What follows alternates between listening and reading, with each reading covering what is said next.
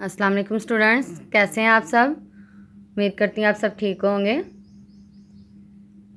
पहले हमने, पहले लेक्चर में पौधे और दरख्त की पढ़ाई की थी।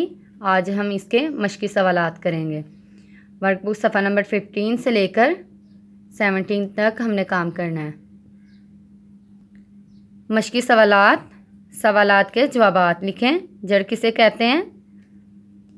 सवाल है जड़ किसे कहते हैं, जवाब दरख्त का जो हिस्सा ज़मीन के अंदर होता है, इसे जड़ कहते हैं।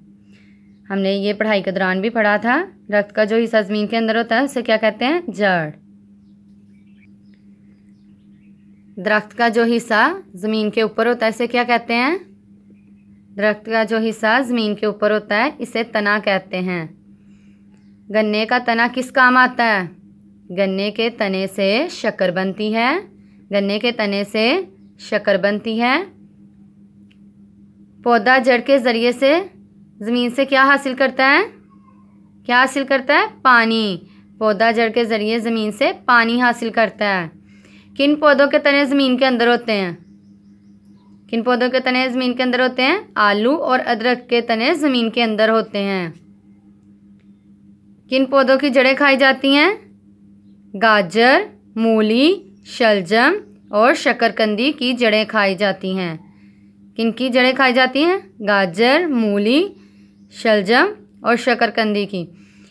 क्या कुछ पौधों के तने भी खाए जाते हैं? जी हाँ जिस तरह आलू और अदरक के तने खाए जाते हैं।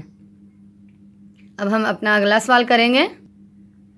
सवाल नंबर दो है, अल्फाज को जुमलों में इस्तेमाल करें।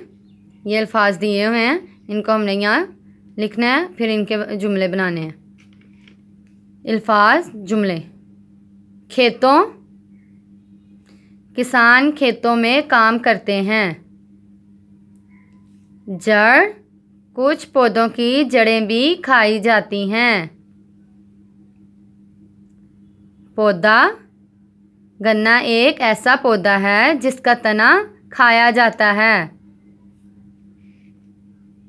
ज़मीन ये ज़मीन बहुत ज़रखेज़ है। शाखें, तने से शाखें निकलती हैं। शाखें का क्या है? तने से शाखें निकलती हैं। हिफाजत, हमें पौधों की हिफाजत करनी चाहिए। नेमत, पानी अल्लाह की नेमत है। पानी अल्लाह की नेमत है। आगे है दरख्त अल्लाह ने दरख्त इंसानों के लिए पैदा किए हैं। अल्लाह ने दरख्त इंसानों के लिए पैदा किए हैं। तना गन्ने के तने, गन्ने के तने से शक्कर बनती है। गन्ने के तने से शक्कर बनती है। गन्ना गन्ना एक ऐसा पौधा है जिसका हम तना तना खाते हैं। गन्ना एक ऐसा पौधा है जिसका हम तना खाते हैं। हिस्सा दरख्त का जो हिस्सा ज़मीन के अंदर होता है, उसे जड़ कहते हैं। दरख्त का जो हिस्सा ज़मीन के अंदर होता है, उसे जड़ कहते हैं। स्टूडेंट्स, आपने इसे अच्छी सी राइटिंग में लिखना है और अच्छे से याद करना है। अल्लाह हाफिज़।